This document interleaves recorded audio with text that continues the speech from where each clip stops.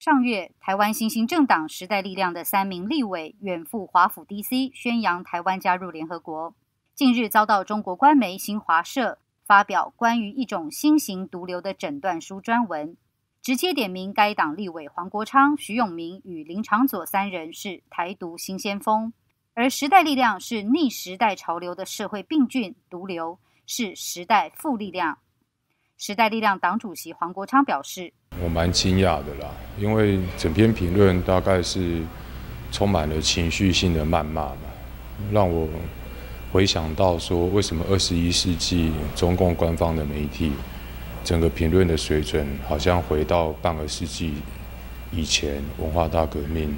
红卫兵的行径。新华社指，黄国昌等三人在台湾岛内大肆推动制宪以及台湾证明等等。还跑到海外或借国际事件来制造话题，是继台联党后的毒瘤变种，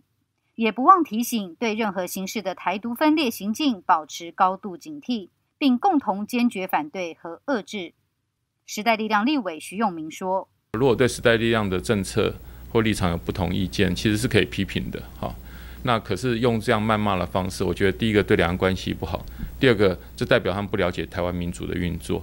那第三个，我想。”更危险的是，那台湾民众心里在想什么？我觉得，呃，中中国的媒体，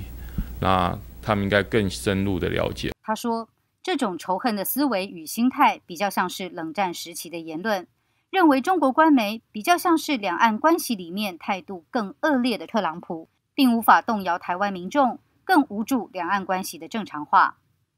台湾指标民调公司总经理戴立安说。大陆现在在做三中一清，时代力量这些人对他们来讲也是青年人没有错，但是反其道而行哦。某种程度来讲，甚至觉得，哎，这些人是不是要跟香港的年轻人要去做串联？哦，那都是会变成，反而是跟现在大陆希望走的方向，中共当局走的方向是反其道而行的。